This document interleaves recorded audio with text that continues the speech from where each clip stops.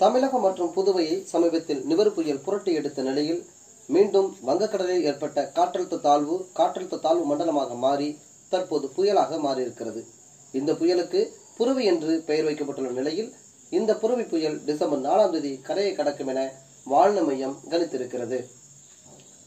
தென்மேற்கு தென்கிழக்கு வங்காள விரிகுடாவில் உருவாகியுள்ள ஆழ்ந்த காற்றழுத்தம் மேற்கு நோக்கி நகர்ந்து தற்போது தென்மேற்கு வங்காள விரிகுடாவில் சுமார் நானூத்தி அறுபது கிலோமீட்டர் தூரத்தில் இலங்கையில் திரிகோணமலை அருகிலும் கன்னியாகுமரிக்கு எண்ணூத்தி அறுபது கிலோமீட்டர் தூரத்தில் தென்கிழக்கில் உள்ளது.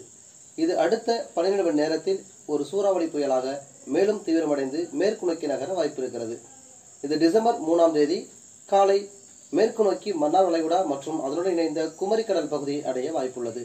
பின்னர் அது மேற்கு தென்மேற்காக தென் தமிழ்நாடு கடற்கரையை கன்னியாகுமரி மற்றும் பாம்பன் இடையே கடக்க வாய்ப்புள்ளது. இதன் காரணமாக தமிழகத்தில் கன்னியாகுமரி திருநெல்வேலி தூத்துக்குடி தென்காசி ராமநாதபுரம் மற்றும் சிவகங்கையில் ஒரு சில இடங்களில் டிசம்பர் இரண்டு மற்றும் மூன்றாம் தேதிகளில் கனமழை பெய்யும் வாய்ப்புகள் இருக்கின்றன. தெற்கு கேரளாவில் திருவனந்தபுரம் கொல்லம் பத்தனம்திட்டா மற்றும் ஆலப்புழா ஆகிய பகுதிகளில் ஒரு சில இடங்களில் டிசம்பர் மூணாம் தேதி கனமழை பெய்ய வாய்ப்புள்ளது என வானிலை மையம் அறிவித்திருக்கிறது.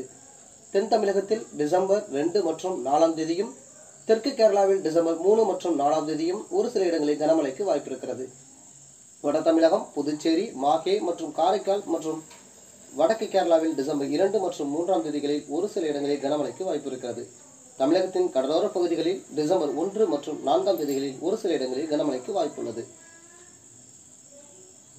மேலும் பல புதிய வீடியோக்களுக்கு இணைந்திருங்கள் கல்வி முதுவுடன் தேங்க்யூ ஃபார் வாட்சிங்